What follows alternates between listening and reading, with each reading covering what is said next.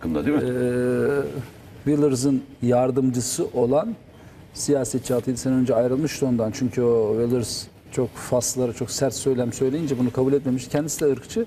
İslam karşıtı bir adamdı. İslamiyet aleyhine bir kitap yazma girişimlerine başlıyor. Evet. Kitap yazabilmek için araştırması gerekiyor. Araştırdıkça ondan sonra e, İslamiyete olan hayrı şey hayranlığı artıyor ve en nihayetinde Tabii araştıracak, araştırırken Tabii. gerçeklerle karşılaşıyor. Aynen öyle. Yani ondan sonra da gerçeklerle karşılaşıyor. Ee, Etkileniyor. von Claveren İslam karşıtı kitap yazarken etkileniyor Soyadı İslamiyet'ten. Evet. Clever man yani, akıllı adam. Cleverman, evet oradan geliyor. Müslüman oluyor. Cleverman. Bu kez de İslam karşıtlarının fikirlerini çürütmek için kitap yazmaya başlıyor. Ee, hani Bunu biliyor siyasetten musun? Türkiye'de konuşurken bunu örneği var bahsetmiş biliyor olduk. musun bunun? örneği var derken benzer bir şey. Bediüzzaman Said Nursi'yi iyi yargılamaya çalışan savcı var.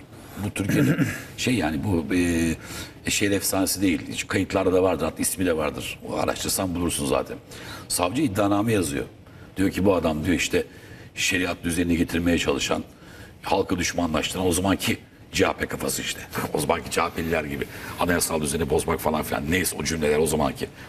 Bediüzzaman Said Nursi e, e, mahkemesi hazırlayan savcı mecburen delil bulmak amacıyla Bediüzzaman Said Nursi kitaplarını okuyor. Oradan alacak ya şöyle bir cumhuriyet karşıtı, bu kadar şeriatçı, bu kadar bilmem ne düşman diye toplarken çok ilgileniyor okumaya devam ediyor. Sonra savcı diyor ki bir dakika diyor pardon bu adam doğru şer yazıyor. Adam mühtedi oluyor. Mühtedi demek durumundayım çünkü hakikaten o zamanlar çok böyle vardı. Yani Cumhuriyet Savcısı o zamanlar Allah affetsin bizi. Yani nasıl yetişmişlerse bunlar işte bu diyoruz ya bunlar da iddiaçların çocukları. E, adam din düşmanı yani. Hani ateist. Geçenlerde birisi biz konuşunca kızmış, kızmıştı. Kızmasın ona bir daha söylüyorum. Tabii ki değiştirebilseler de bu milletin genetik kodlarını çoktan değiştirmişlerdi ama köy enstitüleri bu amaçla kurulmuş bir sistemdi. Köy enstitülerinde komünizm ve ateizm işlenirdi. Ve oradan da çıkan benim akrabam da var. Anlatırdı adam da yani. Bana kimse kızmasın. Telefon açmışlar. Ama işte biz de oradan çıktık. Ben de hafızdım çıktım falan filan. Okumuş birkaç sene de onu anlatıyor. O zamandan çıkan o savcılar o zamanki yargı sisteminde bu vardı. Ve adam okuyor, okuyor, okuyor. En sonunda işte sözlerden çıkıyor. Me- Mektubata giriyor. Beşinci diyor ki ya Allah diyor ben diyor büyük günah işledim. Böyle bir mübarek adamın hakkında iddianameden de vazgeçiyor. E, Sayın Nursi'ye de müntesip oluyor falan filan. Oluyor böyle şeyler. Yeter ki gerçekle bak bu da doğru. Ben mesela bunu CHP için söylüyorum. Onlar için de CHP teşkilatı için söylüyorum. Sizin de mühtedi olma şansınız var. AK Parti açın şeyini, teşkilatı olmaz.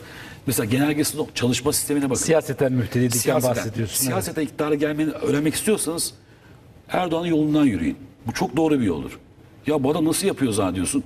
Zannediyor ki millet Erdoğan her tarafta orada gene bugün mü konuşuyor falan. Ulan bildiğiniz gibi değil. O halkla konuşuyor. Erdoğan yanına gittiği zaman Erdoğan dinliyor sadece. Türkiye'deki en bilimsel çalışma yaptıran Erdoğan'dır. Bak CHP'ye sesleniyorum. Tamam içebilirsin. Hani Kılıçdaroğlu dediği gibi ayrı ayrı barlarda içebilirsin. Ama şöyle bir gerçeklik var. Türkiye'de bir dakika halk bu konuda ne diyor kardeşim? Halkın bir nabzına bakalım. Millet ne diyorsa ona göre hareket edin diyen bir liderden bahsediyoruz. Açın Erdoğan'ın doktrinlerini okuyun. Değil mi? Siyaseten siz de demokratik bir parti olabilirsiniz. Böyle bir ihtimal var.